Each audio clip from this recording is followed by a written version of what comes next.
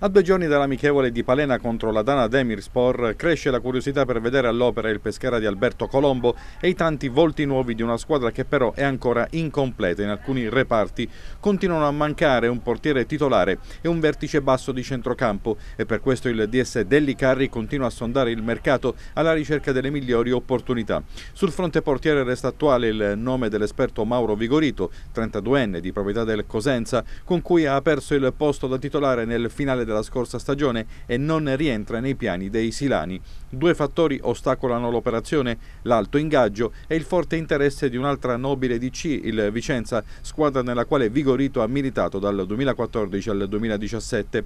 È impredicato di cambiare aria Matteo Pissari dell'Alessandria, il giocatore N radar di Delicarri, ma ha un contratto in scadenza nel 2024, non rientra nei piani dei grigi che però vogliono monetizzare dalla sua partenza.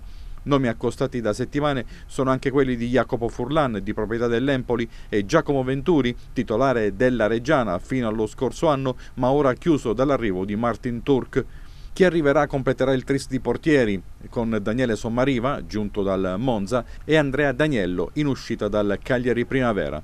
Sul fronte centrocampo il Pescara ha presentato offerta formale all'Avellino per Salvatore Aloi. Non è un play puro, ma può interpretare quel ruolo, quello che trapela da Mercogliano, sede del ritiro degli Irpini, e che Aloi è lusingato dalla proposta di Dellicarri, ma deve trovare l'accordo con l'Avellino e non è detto che la situazione si sblocchi a breve.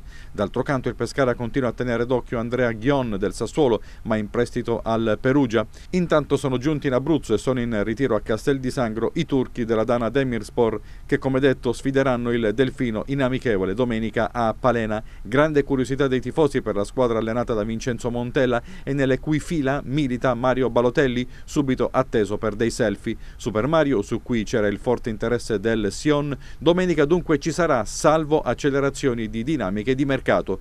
Il Pescara riabbraccerà l'ex Birkir Bjarnason. Tra i pilastri della squadra turca c'è anche il 38enne veterano Gökhan Inler, 8 anni in Serie A tra Udinese e Napoli.